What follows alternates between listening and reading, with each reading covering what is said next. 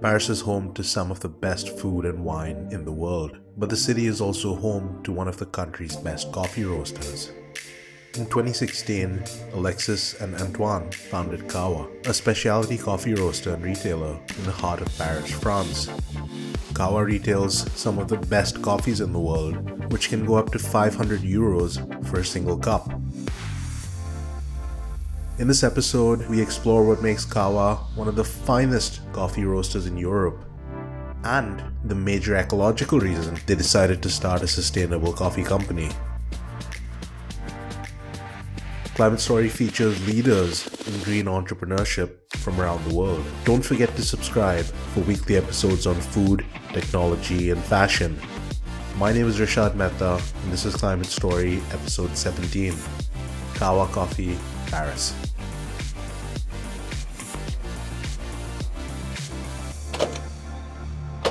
Hey, hello guys. Let's get inside. So first of all, we have some coffee trees. Uh, it's just a tiny bit, but like uh, every year we try to try a process and uh, dry our coffee and then we try just among the team because we make around 100 grams of coffee with three coffee trees. So we know it's a very complicated uh, work.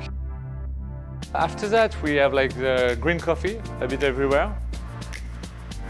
We work with uh, almost more than 20 origins. We have Brazil, Kenya, Guatemala, Salvador, so quite a lot. And then here we have uh, our two roasters. So we have a 7 kilo Loring and a 70 kilo Loring. So the 7 kilo is made only for the very high-end coffee. And uh, on the other end, we roast most of our production on the 70 kilo. That's, that's some green coffee. And after it has been roasted,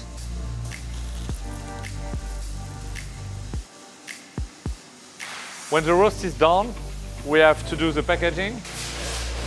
So here we have like our packing machine for uh, uh, bags of uh, one kilo. They drop the bean, seal the bag, and then we put them in, into the pallet. It's completely finished. We put our, our coffee bag in, into uh, pallets and uh, and then they are ready to pick to be picked up by uh, by our team, and we send the coffee uh, in Paris through bicycles.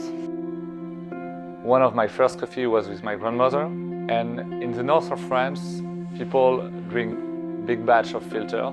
It's completely different from the south of France that is very influenced by Italy.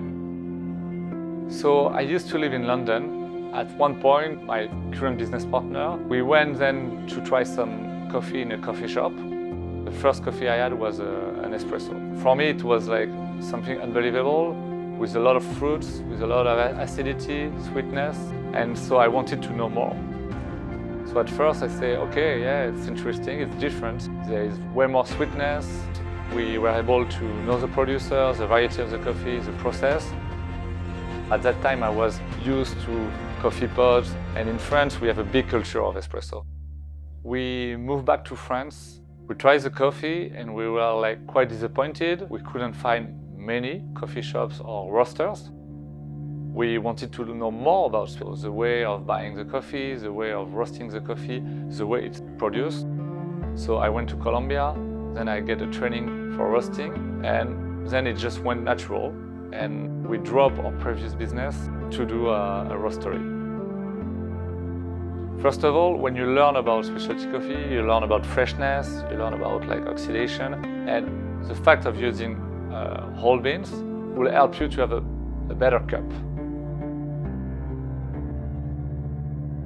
Quality of coffee, way different from what you get from a pod or even from ground coffee that you find in supermarkets. When we came back to France, we knew pods were super popular and we wanted to find a way to propose and to offer something different. What, what we know about coffee pods is like, for instance, it's really hard to uh, recycle aluminium.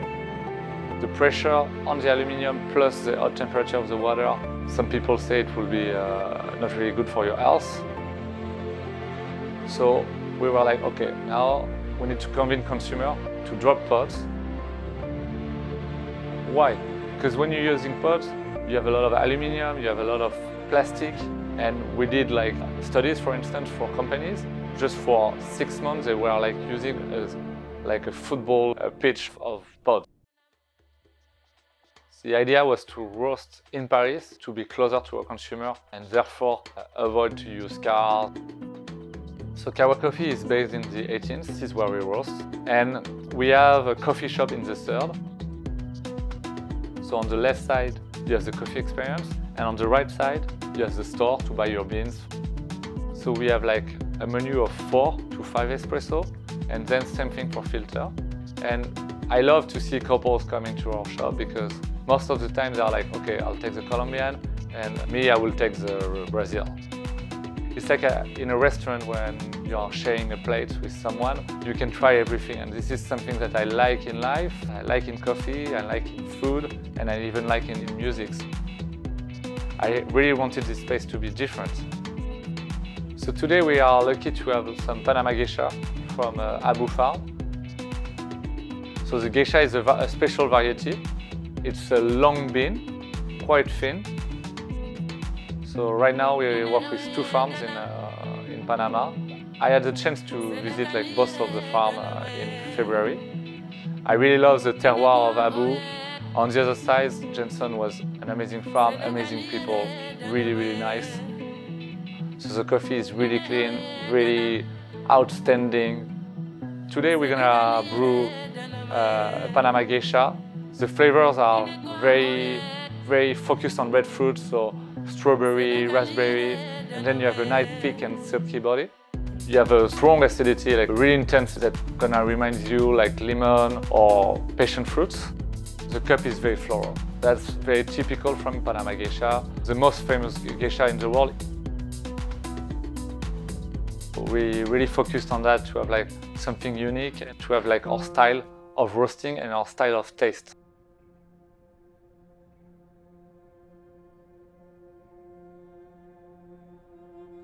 When we started, we had to figure out how to be the most sustainable in every part of what we were doing. The most important part was the roaster. So we had to choose a roaster that was sustainable and was using less gas. And so we used a special roaster that reused the hot air and the energy. 50% less gas uh, thanks to this roaster, so which is amazing. So because we have the sustainable part and we also have the quality part all together. So first of all, we are recycling all our waste. All the stuff we are trying to be careful and, and to recycle them the best way as we can. So we work with the farm that takes chaff waste from the coffee, uh, use it for, for their farm. We also try to deliver all of our coffee by uh, bicycles. So we work with a company that have delivery guys uh, using uh, only bicycles.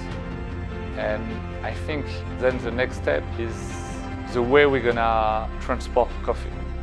It's really, really important because I think this is a, weakness of the coffee. It's a beautiful product, but it comes from very, very, very far.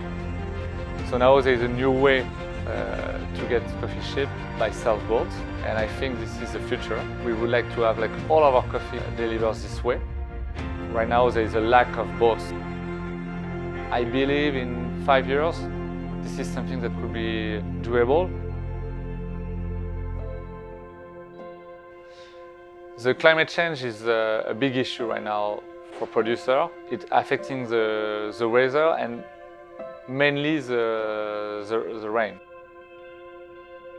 Uh, recently, I was speaking to uh, some producer in, in Colombia and the yield dropped of 40% because either too much rain or not enough rains, but it's not stable like it, it, it used to be.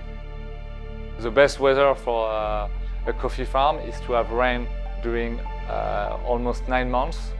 It's a very tropical weather that uh, coffee need, but you also like on a, on a tropical belt to have sun because if it's too cold, you can't grow uh, you can't grow coffee. But same thing if it's too warm and if there is no rain, uh, all the plants are going to die because it will be impossible to, to, to get water for the, for the trees. So I hope like for the industry, especially in France, uh, specialty coffee will grow because it's only 3% of the market, of the whole market of coffee in France. And then I hope we will uh, evolve and uh, take more responsibility for uh, the climate, for the sustainability, ecology, uh, because it's also going to play a big part of our products. Is if uh, climate change is uh, is too important, it will of course affect a lot like the productivity and yield of, of the coffee. But I will be really sad to lose certain uh, type of, of, variety like uh, geisha, Sudan Rume because of the climate change.